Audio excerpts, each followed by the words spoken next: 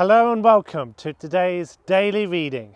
It's the last of the daily Psalms during lockdown, and it's in fact the 70th daily scripture reading since the start of this latest lockdown, which I think is significant because the number 7 or 70, of course, means completion.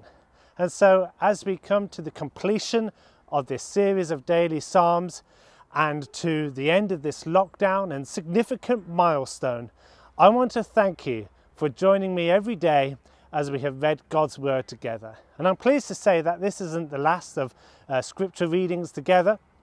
Uh, in fact, at CUFI, we are committed to do more of this, not necessarily daily, but certainly at various times, including, for example, next weekend, Easter, uh, when we will be reading scripture together to remember the Lord's death and resurrection. So please join me for that. And of course, we have our weekly scripture teachings. Uh, lessons from Nehemiah continues tomorrow. So please join me for that also. Now let us read today's psalm. It's Psalm 69 uh, because we previously split one of the psalms. So let's read the word of the Lord together. This is Psalm 69.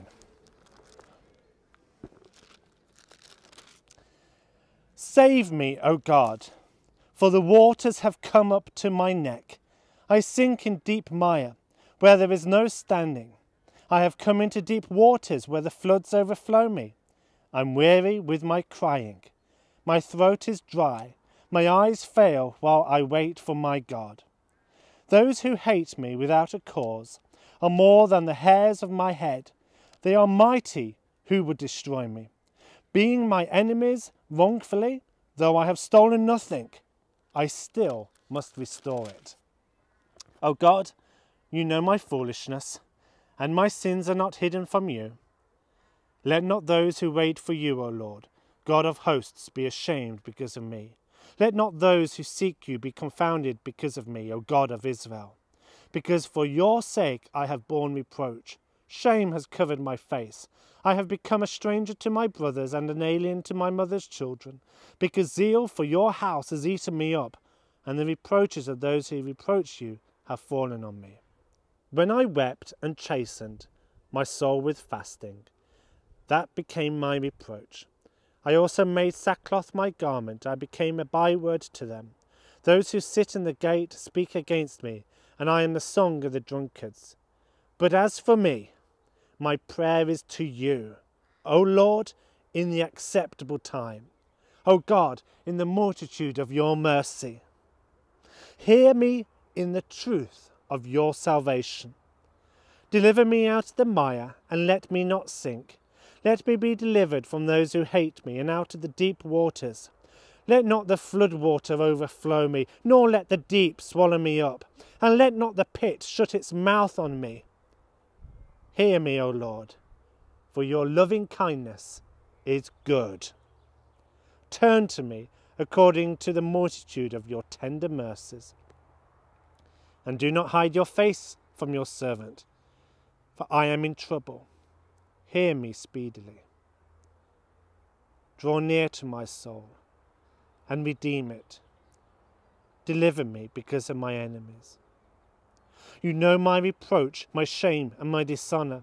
My adversaries are all before you.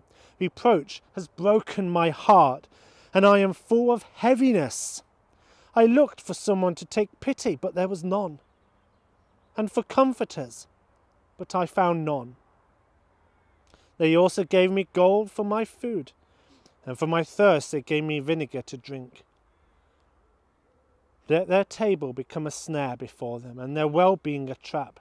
Let their eyes be darkened so that they do not see, and make their loins shake continually. Pour out your indignation upon them, and let your wrathful anger take hold of them. Let their dwelling place be desolate, let no one live in their tents, for they persecute the ones who have struck, and talk of the grief of those you have wounded. Add iniquity to their iniquity, and let them not come into your righteousness. Let them be blotted out the book of the living, and not be written with the righteous.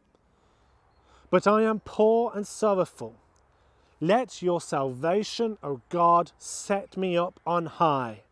I will praise the name of God with a song, and will magnify him with thanksgiving. This also shall please the Lord better than an ox or bull which has horns and hoofs. The humble shall see this and be glad. And you who seek God, your hearts shall live. For the Lord hears the poor and does not despise his prisoners. Let heaven and earth praise him, the seas and everything that moves in them. For God will save Zion and build the cities of Judah, that they may dwell there and possess it. Also, the descendants of his servants shall inherit it, and those who love his name shall dwell in it. Praise be to God for the reading of his word. We really do get a sense there of some of the despair and sorrow of King David. And yet, we hear or we read uh, uh, his testimony that his loving kindness, the Lord's loving kindness, is good. And yet, despite those struggles that David was experiencing inwardly, that trouble uh, he was going through, he still praised the name of God. He praised the Lord. And it says in verse 32 and you will seek God with your heart. So, and you who seek God, your hearts shall live. Receive those words of life, those promises of life today. That promise that when we seek Him, our hearts will live. I pray that the, His word will lift up your hearts and your spirit uh, today and moving forward also, knowing that we can move forward in confidence that He is faithful to you, just as He is faithful to Israel. It's appropriate, I think, that we complete this series with these final words in this psalm For God will save Zion and build the cities of Judah, that they may dwell there and possess it. Also, the descendants of his servants shall inherit it. And those who love his name, do you love his name?